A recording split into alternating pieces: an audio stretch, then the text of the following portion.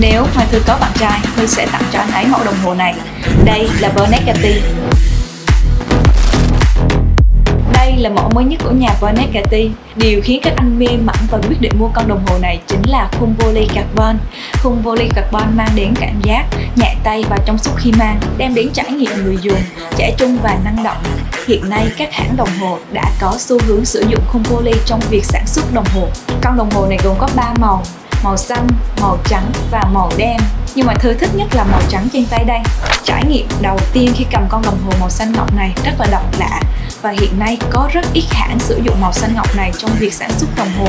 Và đây cũng chính là lý do mà khiến các anh không đưa lương cho vợ. Con đồng hồ này size 42 cổ tay Thư nhỏ như vậy Thư mẫn ngoan vừa nên là các anh yên tâm nha đã có nhiều chị nữ đã đến shop mua con đồng hồ này rồi. Theo Thư nghĩ thì mẫu này phù hợp với những bạn trẻ trung, năng động, cá tính và đặc biệt là xinh đẹp như Thư. Các anh đừng lo chày xước nha bởi vì mặt kính của nó là mặt kính sapphire và trong vòng 5 năm bảo hành mình được một lần thay kính miễn phí. Kèm theo đó là mình sẽ được tặng thêm một cái box đựng đồng hồ.